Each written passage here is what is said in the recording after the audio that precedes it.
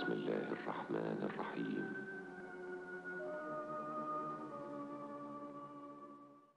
ونريد أن نمن على الذين استضعفوا في الأرض ونجعلهم أئمة ونجعلهم الوارثين.